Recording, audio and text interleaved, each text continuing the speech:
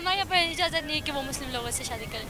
क्या मकसद है? मिलाना लगा के लेकर आए? उधर तो कहा था कि सब जाकर लड़कियाँ पसंद करेंगे। और वो फेक है। आपने कहा है कि यहाँ पर बस आप अपनी बरादरी के लोगों से शादी कर सकते हैं। तो आपको अगर आपकी ही बरादरी का कोई लड़का पसंद आ जाता है तो वो क्या प्रोसीजर होता है? कैसे शादी करते हैं आप लोग? अच्छा लड़का पसंद आता है तो मैं फॉर एग्ज़ाम्पल अभी कोई कलाशी लड़का पसंद आ गया है, तो मुझसे शादी करना चाहती हो तो कैसे बताओगे अपनी अम्मी अब्बू को? तो नैन बेटा का कहाँ लगता है? स्कूल में कॉलेज में या ऐसे डांस पार्टी में?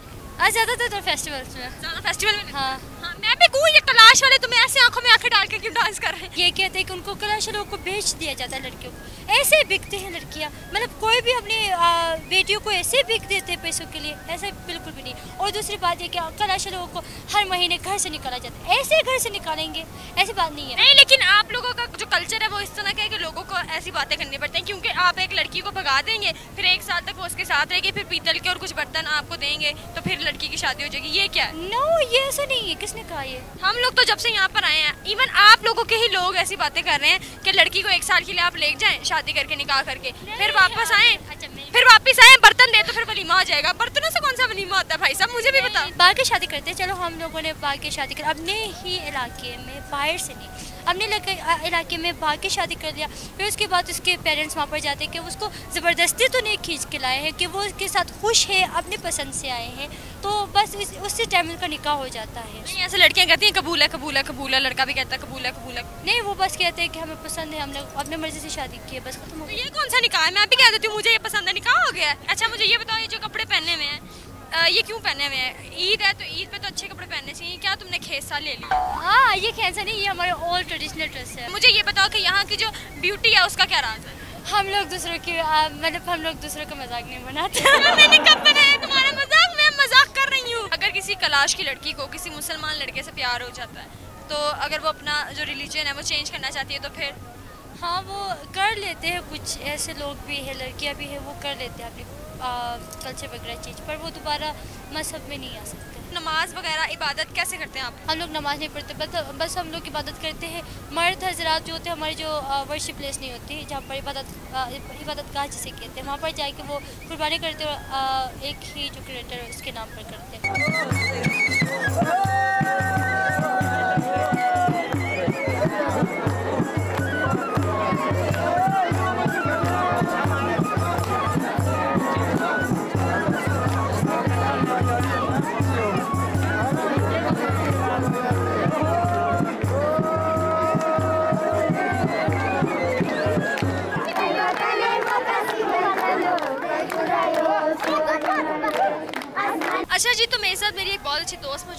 ताज़ी ताज़ी मेरी दोस्त बनी है। मैंने काफ़ी सारी लड़कियों से बात करने की कोशिश की लेकिन पता नहीं क्यों वो बात ही नहीं करना पसंद करी। क्या उन्होंने लड़कों को किसी को पसंद करना हमारे लड़के हमें मुँह उठा के आ गए लड़कियों को पसंद करने के लिए। अच्छा इनसे बात करते हैं। बहुत अच्छी है आपका नाम क्या है? करीना आज़म। कितना माशाला से हसीन और जमील नाम है। अच्छा यहाँ पे किसी का अच्छा नाम है? मेरी तरह निमरा। नहीं यहाँ पर मुख्तलिफ़ नाम होते हैं। किस तरह के नाम होते हैं? किसी का नाम आयशा भी होता है किसी का नाम क्या होता है आयशा तो चलो यार मुसलमानों वाला नाम। मारिया वगैरह मरियम एक्सेट्रा तो तुम्हारा इतना कड़ी चावल जैसा नाम क्यों है? कड़ी चावल तो नहीं कहते। अजीब सा नाम है ना करीना आज़म। करीना। करीना करीना कपूर करीना कपूर वाला करीना। नो नो नो सिर्फ़ करीना। आज़म कौन है फिर? आज़म मेरा अच्छा आधा ही हूँ मुसलमान और आधा हिंदुओं वाला नाम है इसका। अच्छा मुझे ये बताओ हम लोग मुसलमान हैं बाकी मतलब सबका अपना अपना रिलीजन होता है। आपका बेसिक रिलीजन क्या है? कलाश सिर्फ़ कलाश है। कलाश रिलीजन हाँ कलाश रिलीजन है। पहले तो हमारी तादाद बहुत ज़्यादा थी। हम लोगों ने तो पूरे चित्राल में भी तीन हज़ार साल हुकूमत की पर मुसलमानों ने आके बाद में आके जब वो इस्लाम आई तो तुम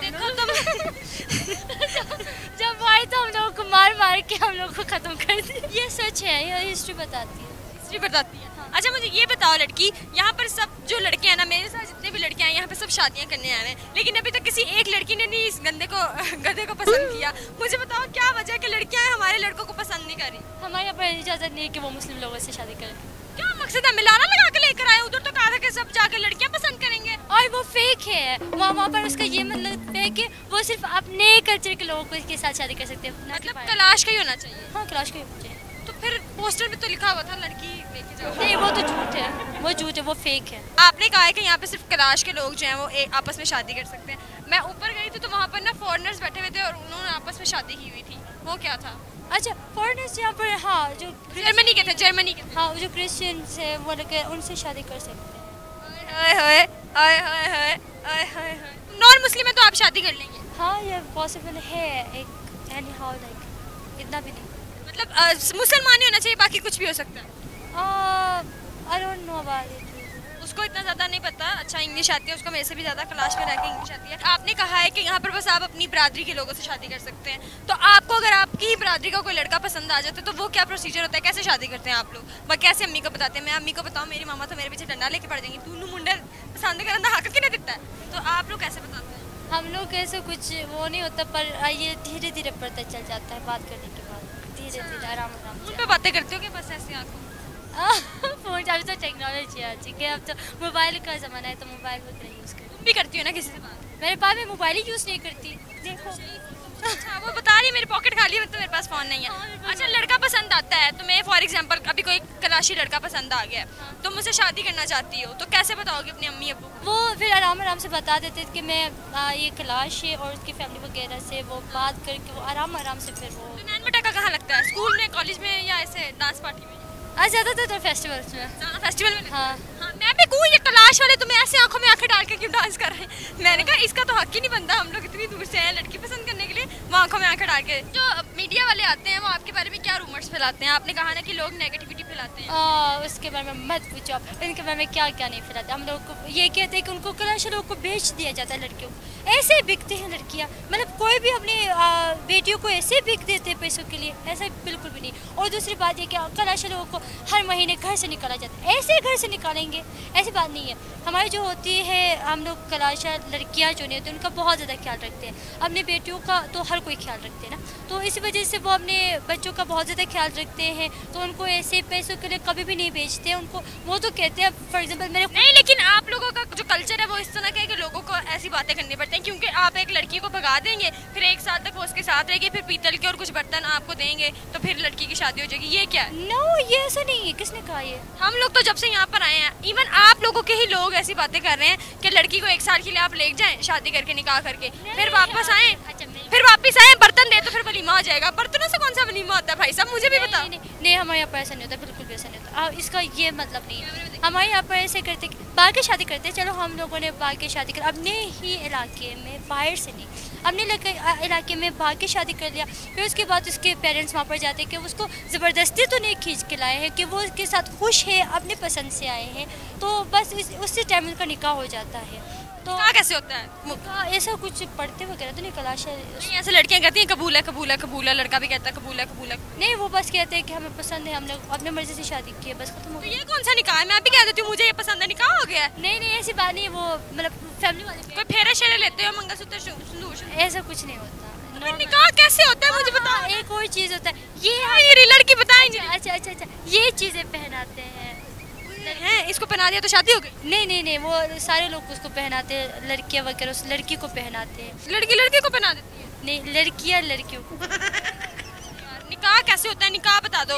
उसका मेन मकसद ऐसा कुछ नहीं होता बस नहीं मेरे कहने का मतलब है मुसलमानों में शादी पता कैसे होती है? लड़का कबूल कबूल कहता है लड़की कबूल कबूल कहती है। हिंदुओं में ऐसी शादी होती है कि वो लोग जो हैं फेरे वगैरह सिंदूर मंगलसूत्र और जो नॉन मुस्लिम होते हैं बाकी फॉरनर्स होते हैं वो चर्च वगैरह में कोई खास प्रोसीजर होता है।